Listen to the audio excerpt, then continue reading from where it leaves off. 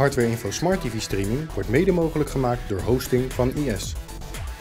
In deze aflevering van Hardware Info TV, de LG G-Watch R en de Motorola Moto 360.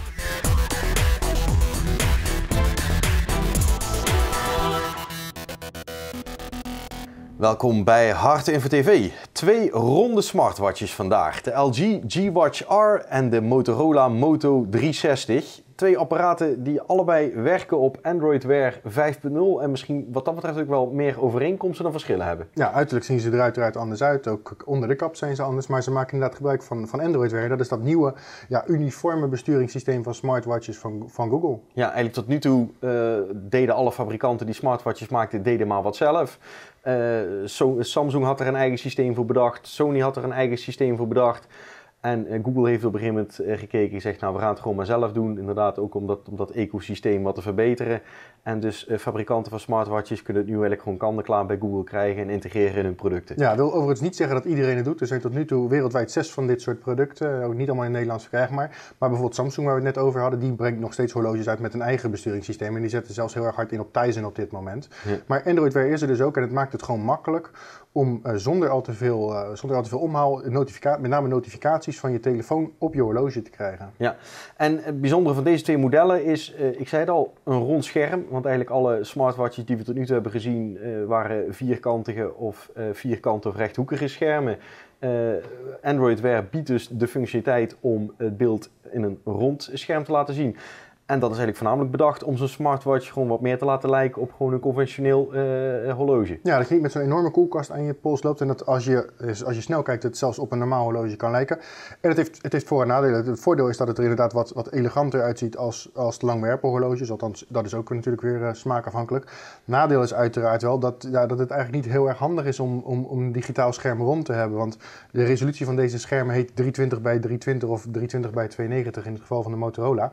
Maar dat is het natuurlijk niet echt. Dat is het op, op het hoogste punt en op het breedste punt. Is ja. die 320 bij 320. Heel veel pixels zijn er bij wijze van spreken van afgeknipt. Zijn er gewoon van afgeknipt en die mis je ja. dus ook. En soms merk je ook dat als je bijvoorbeeld notificaties leest, dat het eigenlijk net niet helemaal lekker in het beeldscherm past. Of dat er zelfs letters echt wegvallen en je dus moet doorscrollen om het te kunnen lezen. Ja. En dat zou je bij een vierkant of langwerpig scherm natuurlijk niet hebben. Ja, nou, voordat we gaan hebben over wat je er precies mee kunt, eerst maar even die specificaties. Je zei het al, uh, de LG 320 bij 320 pixels, uh, als het ding tenminste vierkant was geweest. Bij de Motorola iets minder en dat komt doordat eigenlijk in die onderste balk, daar zit een, uh, een sensor ja. en die blijft dus eigenlijk altijd zwart. Ja, je ziet het hier zo, het zwarte gedeelte onder, die, uh, onder dat bericht wat je nu in beeld ziet staan, dat is eigenlijk gewoon een lichtsensor. Dus die kijkt hoeveel omgevingslicht er is en dat, dat doet het niet. Ik vind het zelf heel erg jammer, want voor de rest is het een heel mooi horloge dat dus inderdaad uh, met, met een rondscherm bijna kan doorgaan voor een normaal horloge. Ja. Alleen ja, je hebt dus die balk onder in beeld die het gewoon, die eigenlijk niet meedoet. Ja, en dan is het scherm van de Motorola wat groter, 1,56 inch. Bij LG is het 1,3 inch. Betekent dus meteen ook dat de pixeldichtheid bij LG uh, wat hoger is. De pixels zijn wat kleiner. Maar omdat LG wel een, een wat dikkere rand om het scherm heeft, uh, opnieuw om het meer te laten lijken op een echt horloge, uh, is het qua formaat maakt het eigenlijk niet zoveel verschil tussen beide apparaten. Nee, ik bedoel, en er zit duidelijk wel een, een stijlverschil. En kijk, de, de, LG komt wat robuuster over, terwijl de Moto, Moto 360 wat meer, wat, wat eleganter is. Ja. En dan de SoC's die erin zitten. LG heeft gewinkeld bij Qualcomm, hebben een Snapdragon 400 gekozen. Dat is een quad-core processor die we ook al in een paar ja, budgettelefoons tegenkomen. Uh, bij Motorola is een oudje, een, een TI Texas Instruments OMAP 3630. Daar moest ik weer even opzoeken wat het ook weer was. Ja, is een Cortex A8 ding, single core, aanzienlijk langzamer. We weten overigens niet 100% zeker of alle vier de cores van die Snapdragon 400 daadwerkelijk werken. Ja. Maar als je ermee bezig bent en als je de beide, tele, beide telefoons, wil ik bijna zeg maar, bijna smartwatches met elkaar vergelijkt, merk je wel dat de LG gewoon, uh, gewoon snappier is. Die gaat gewoon wat vloeiender, de animaties zijn wat mooier. Het is niet dat de Moto heel langzaam is, maar je merkt wel gewoon dat het net even ietsjes minder is. En als je dan denkt, die LG heeft een snellere processor, dan zal hij ook wel minder lang meegaan op zijn accu. Het tegenovergestelde is waar, want met die LG kunnen wij veel langer aan de gang. Ja, het ligt een beetje aan hoe je hem instelt. Hij staat nu zo ingesteld dat het beeldscherm aanblijft. Het is een OLED-scherm waarvan we dus weten dat uh, pixels die zwart zijn, kosten eigenlijk relatief weinig energie. Want alleen de pixels die oplichten uh, kosten energie. Dus je ziet hier een bijna zwarte wijzerplaat. Dan gaat hij lang mee. Het is een beetje afhankelijk van je wijzerplaat hoe lang die meegaat. Zet je hem zodanig dat hij uitgaat op het moment dat je hem niet gebruikt, dan kan je makkelijk twee dagen met, uh, met de LG doen. Terwijl met de Motorola zelfs, uh, die, die kan niet helemaal aanblijven, die dimt altijd. Er is ook een LCD-scherm.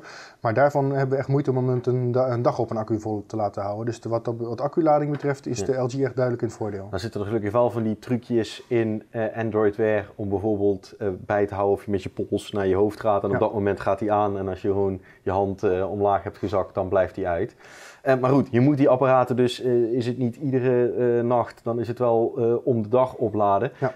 gelukkig hebben ze daar wel allebei een soort cradles voor waar je hem dan op je nachtkastje op kunt leggen en dan daar gaan ze opladen. Ja, ik moet wel zeggen dat die van Motorola in dat geval juist weer beter is, want daar leg je hem echt aan de zijkant in, ligt hij helemaal goed in, laat altijd goed op. Ja. Bij, bij LG is het een soort, ja, een soort puk waar je hem oplegt en waar je hem precies goed op moet leggen, anders laat hij dus ook niet op. Dus als je hem erop legt en je stoot er even tegenaan, dan stopt het opladen. Dat vinden we zelf wat minder handig. Ja, nou dan even verder op de hardware, want er zitten ook uh, sensors in. Uh, sowieso hebben ze allebei een, zowel een stappenteller als een hartslagmeter. Die hartslagmeter zit dan aan de achterkant, dus dat kan hij gewoon optisch meten.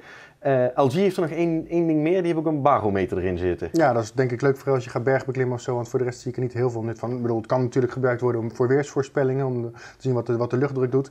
Aan de andere kant is het een connected horloge, dus kan je betere weersvoorspellingen binnenhalen. Ja. En dan, wat kun je ermee? Het is in feite allebei Android-wear, dus qua interface en qua mogelijkheden identiek. Want je krijgt wat Google je geeft en de apps die andere mensen um, ervoor maken. Uh, eigenlijk kunnen we zeggen, uh, qua functionaliteit komt het een beetje op twee vlakken uit. Enerzijds notificaties en anderzijds ja, wat we dan noemen een fitness device. Ja, en uh, Motorola levert nog wat extra software mee voor dat fitnessgebeuren, al is dat beperkt. Het is inderdaad notificaties krijgen, dus je WhatsAppjes kan je lezen. Je kan uh, in het geval van WhatsApp zelfs uh, met spraak terugpraten, dus je kan even snel een, een, een spraakreactie geven. bij e-mail werkt dat dan vreemd genoeg bijvoorbeeld weer niet. Dus ja, dat is een beetje apart. En waar het ook handig voor is, is uh, bijvoorbeeld uh, turn-by-turn navigatie. Dat, dat kan bijvoorbeeld ook als je in een stad loopt. Je moet nog eventjes, uh, je komt uit een, uit een treinstation vandaan, je moet ergens naartoe. Kan je natuurlijk met je telefoon gaan lopen. Dat ja. is niet echt sociaal. En, en tegen iedere lantaarnpaal die je tegenkomt aanlopen. Je telefoon laten vallen of je telefoon wordt gejat. Je kan ook je turn-by-turn navigatie, dus bijvoorbeeld je, gewoon je Google navigatie op je horloge krijgen. Ja. dat zijn handige dingen. Voor de rest dus ja, al, allerlei soorten navigaties. Dus van apps, maar bijvoorbeeld ook dingen van je kalender die eraan komen. Je vluchten die je geboekt hebt, kan je erop bijhouden. Dan geeft hij aan van wanneer moet je naar je vliegtuig Ja, maar het geïntegreerd wat dat betreft helemaal met Google Now. Ja, en het is natuurlijk een open ecosysteem, dus iedereen die er apps voor wil maken voor Android Wear kan aan de slag en gaat hier dus op werken. Ja, en, en het tweede ding is inderdaad wat je zegt, uh, sporten. Dus je kan tijdens het sporten kan die bijhouden hoeveel stappen je doet, wat je hartslag is. En daar kan, afhankelijk van de data die eruit komt, kan je daar weer dingen mee doen. Of je afvragen wat je ermee kan, want dat is vaak ook zo van, wat bedoel, ik heb nu 700 stappen gezet, wel hartstikke leuk. Leuk en zoveel calorieën verbrand, maar ik bedoel, je hebt op zich geen horloge nodig om te weten dat wel sporten gezonder is dan niet Precies. sporten. De prijzen dan, 269 euro voor de LG, 239 uh, voor de Motorola, dus die Motorola is ietsje goedkoper, maar we hadden het er zelfs al over qua hardware, dus ook uh, ja, iets minder vooruitstrevend om het zo maar te zeggen. Um, ja, is het, is het dat waard? We hebben daar hier intern uh, uh, uitgebreide discussies over gehad. Uh, we zijn het eigenlijk allemaal over eens dat, dat het krijgen van notificaties vooralsnog de belangrijkste functie van een smartwatch is. en dat dat op sommige gevallen best handig is. Bijvoorbeeld, je gaat uit eten en er trilt wat in je broekzak en je, dan is het toch wat discreter om even op je horloge te kijken dan je telefoon tevoorschijn te halen. Ja, aan de andere kant zijn het ook de horloges die een flinke bak licht afgeven, dus heel discreet is het nou ook weer ja. niet. En dan blijft de vraag, is je dat gewoon eh, iets tussen de uh, 240 en 270 euro waard? Ja, ik bedoel, ik vind het heel moeilijk om die afweging te maken. Ik heb ze allebei uitgebreid geprobeerd. Ik moet zeggen, ja, het is aardig, maar ik, word er niet heel erg blij van. Uh, dit is inderdaad wat je zegt, de discrete, dat je af en toe even op je horloge kan kijken als je telefoon de zak uit, uit te halen, dat is handig. Maar zodra je iets wil gaan doen met bijvoorbeeld een notificatie die je binnenkrijgt, hou je toch meestal je telefoon er weer bij. Ja. Uh, het, het, het, het, is eigenlijk hooguit handig om te zien, moet ik hier wel of niet wat mee doen? Ja. En het is nu dat je heel vaak uh, zonder zo'n smartwatch misschien je telefoon vanop uit je zak haalt. Terwijl uh, als je de notificaties ziet, dat je alleen echt voor belangrijke berichtjes daadwerkelijk wat gaat doen. Ja, want het spraakversturen, dat werkt dus in WhatsApp, kan je dus daadwerkelijk uh, berichtjes opstellen in het Nederlands. Voor de rest werkt het allemaal nog niet zo heel erg goed en is het met name echt nog op de Engelse taal geënt. Dus wellicht dat met updates het wat beter gaat worden. Voor nu is het inderdaad met name een notificatiehorloge. Nou, en als het dat is, dan mag iedereen zelf de afweging maken of het dat bedrag waard is. Tot zover Hardware Info TV voor vandaag. Wij zijn er iedere maandag, woensdag en vrijdag. Bedankt voor het kijken en tot de volgende keer.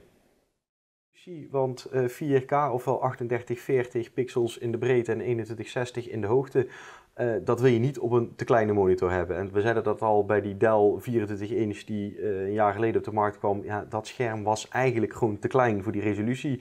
En uh, 27 inch, ja, dat, dat is eigenlijk een maat waarbij